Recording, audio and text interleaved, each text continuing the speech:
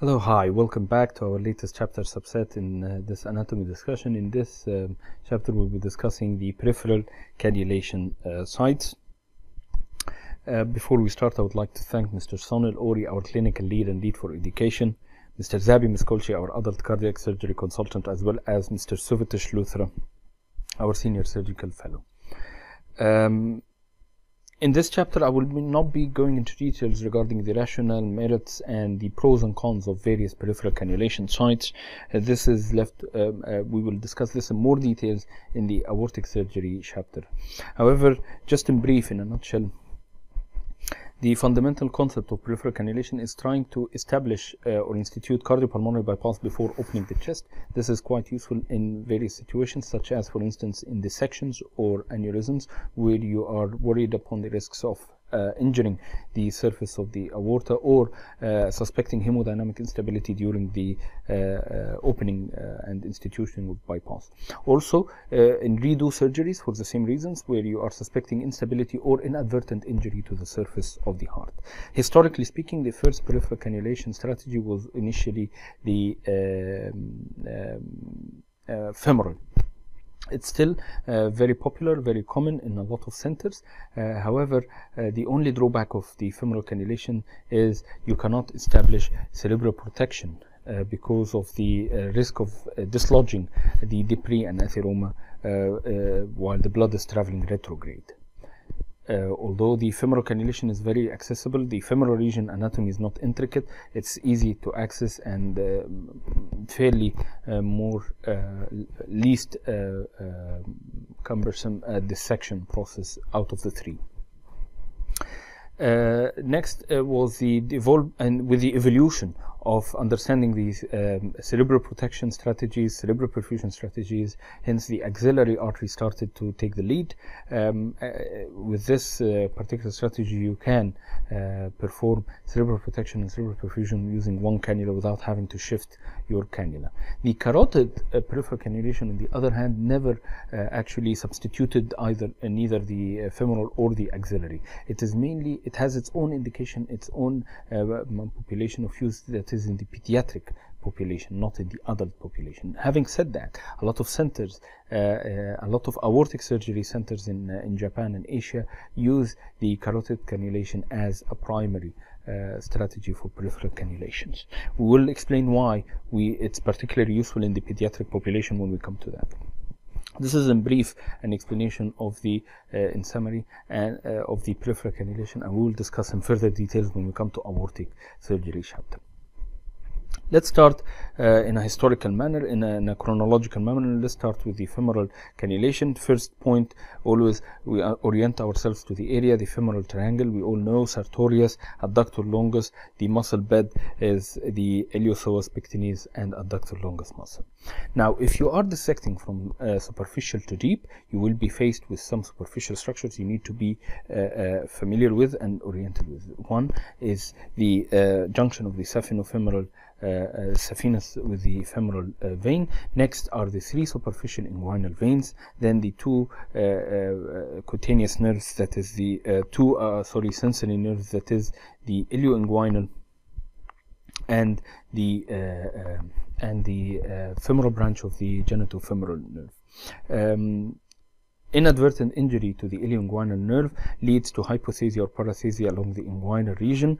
The femoral uh, branch of the genitofemoral nerve provides cutaneous supply to the front of the thigh and the lateral part of the thigh, uh, uh sorry, the front of the thigh, leading to hyperesthesia or paresthesia in this region.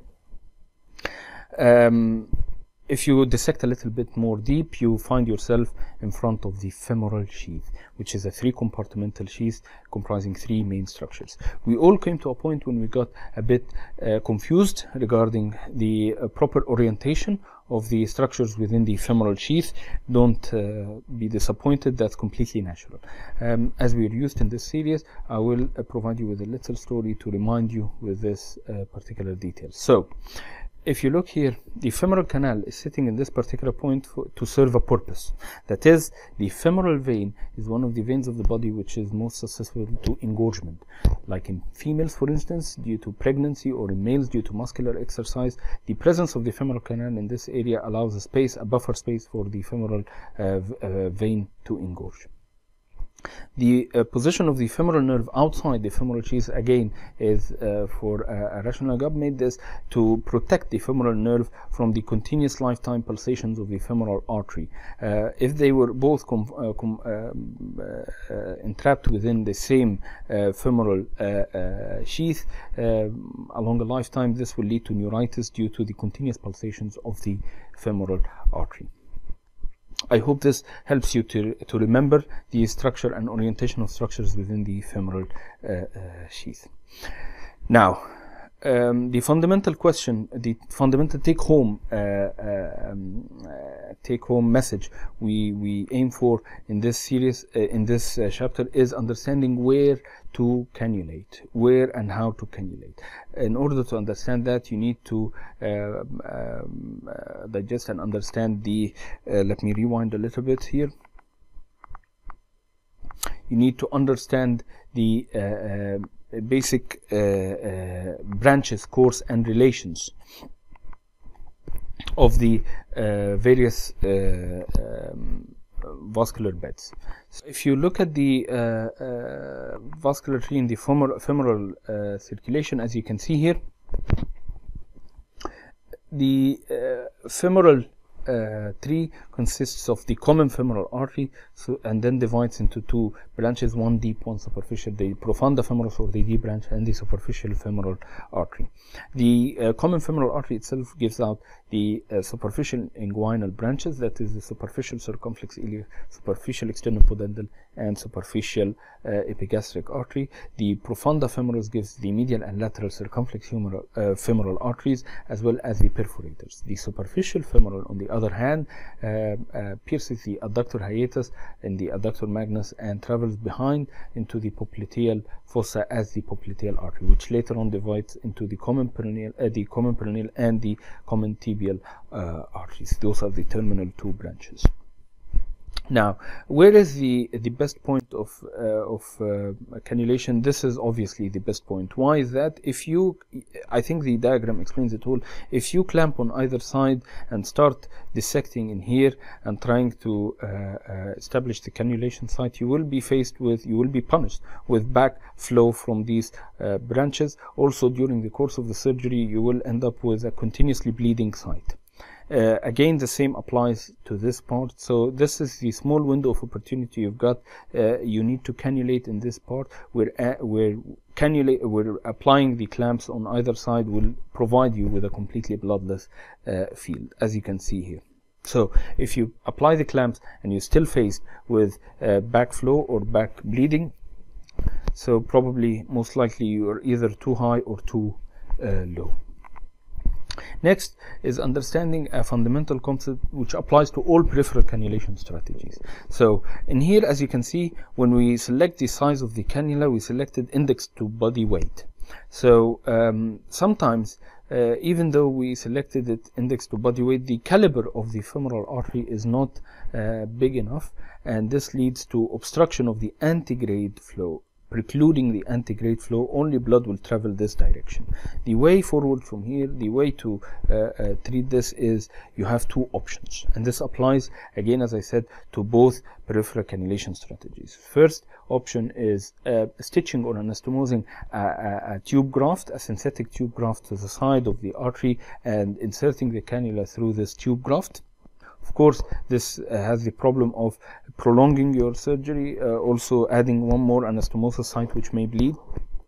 The second option, which is less cumbersome, is using a cannula with a special side way in which you can, uh, um, um, uh, as you can see, uh, uh, establish the antegrade flow through.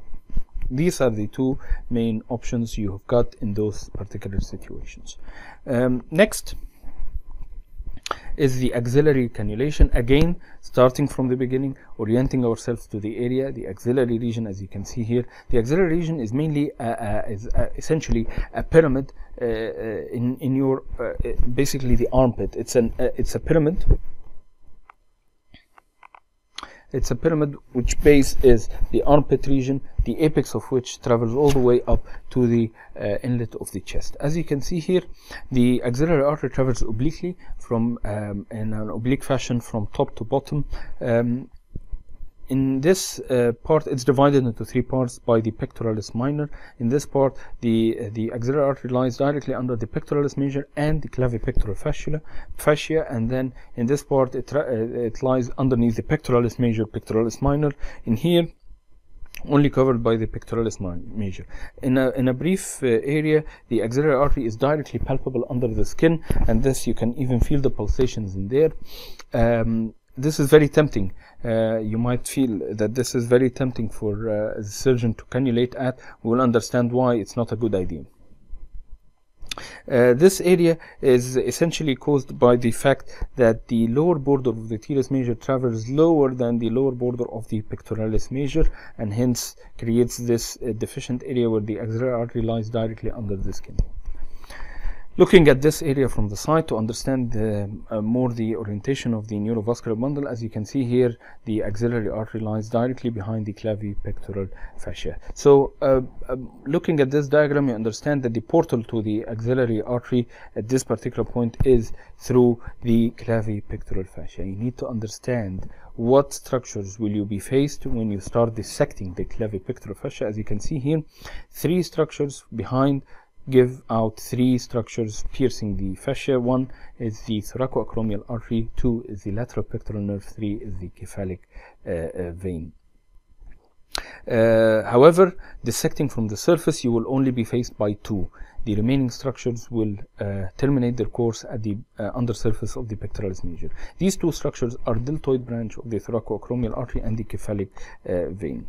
Now, remember, there are four branches to the thoracoacromial artery. One, A, B, C, D. A for acromial, B for pectoral, C for clavicular, D for deltoid.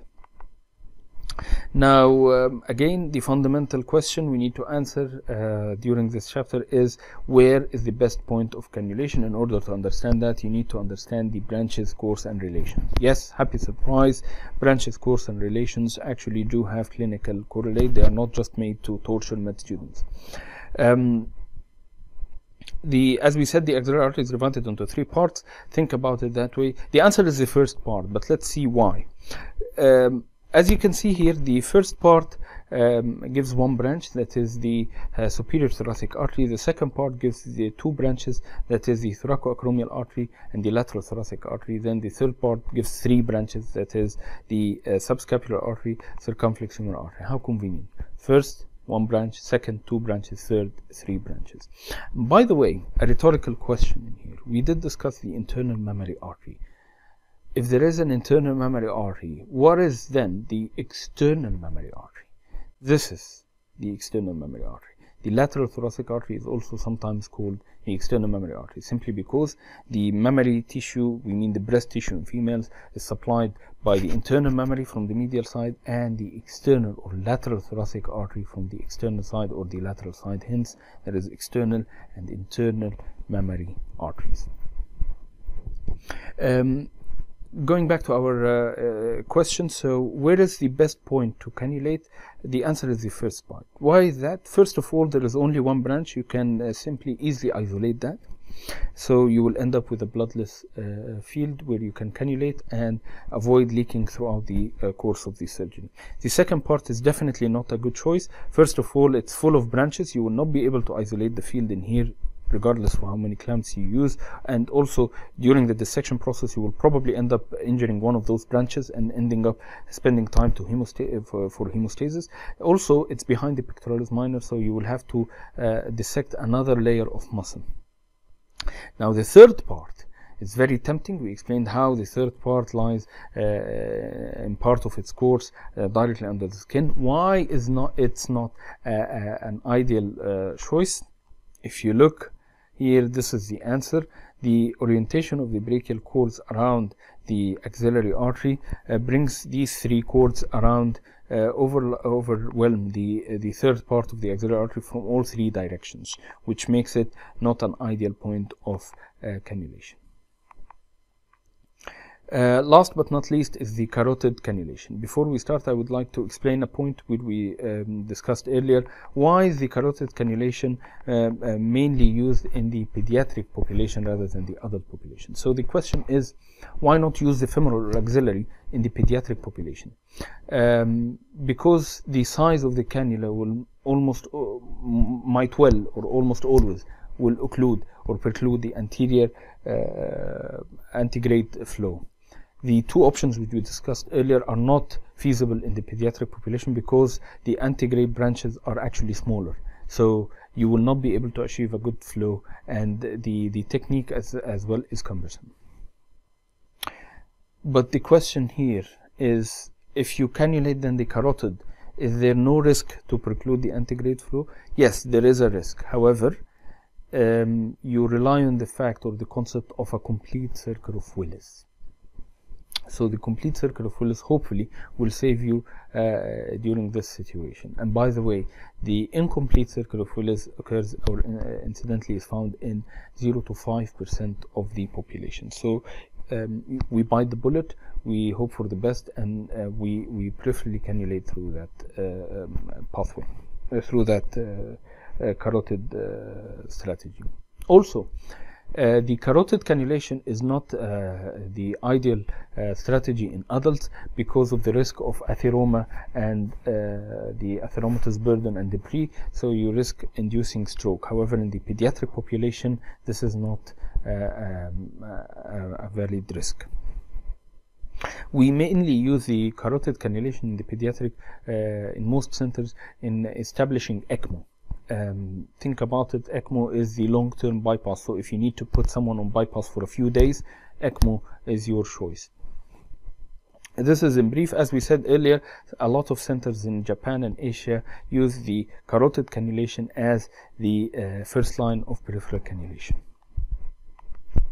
In brief, understanding the anatomy, as you can see, the carotid triangle bounded by the anterior border of the sternocleidomastoid, the posterior border of the uh, omohyoid, and the posterior border of the digastric muscle at the side of the neck. So your aim during the dissection is to flip or to unwind the uh, anterior border of the sternomastoid and hopefully you will find the carotid sheath in there. Um, looking at it in a cross section as you can see it is wedged between the posterior border of the thyroid gland, the sternomastoid and the paravertebral uh, uh, muscles. The carotid sheath itself uh, uh, encompasses three structures that is the common carotid, the internal jugular, and the vagus nerve. Now I need to stop here for a second. So what, uh, what is this nerve on the surface of the carotid sheath? This is essentially the ansa cervicalis, three motor muscles which supply the infrahyoid uh, muscles. And a rhetorical question in here, what happens if you inadvertently injure the ansa cervicalis? The answer is nothing. Uh, the uh, the infrahyoid muscles um, are meant to um, uh, um, are auxiliary muscles of deglutition, swallowing. The uh, primary muscles are the pharyngeal constrictors. Uh, inadvertently injuring the ansa cervicalis will lead to paralysis of these infrahyoid muscles. However, the function is not affected because of the same pharyngeal constrictors. Uh, this explains why uh, the um, uh, the reason why I'm mentioning this is to explain that uh, the um, that's why we can use the ansa cervicalis as a substitute or as a, a um, um, flap uh, in case of recurrent laryngeal nerve injuries uh, because we can sacrifice it you can take it out without losing its action. Also it is very convenient uh, because it gets the same neurological impulse during swallowing and phonation um, because it, it supplies the infrahyoid muscle and hence you can use it as a substitute to the recurrent laryngeal nerve as a surgical treatment of injury to the recurrent laryngeal nerve which is a topic we will discuss in thoracic surgery um, this is uh, about it. uh, regarding the cannulation sites. I hope you uh, you found this um, chapter useful. I'll leave you now with this MCQ question and hopefully we'll meet in the next chapter. Thank you very much.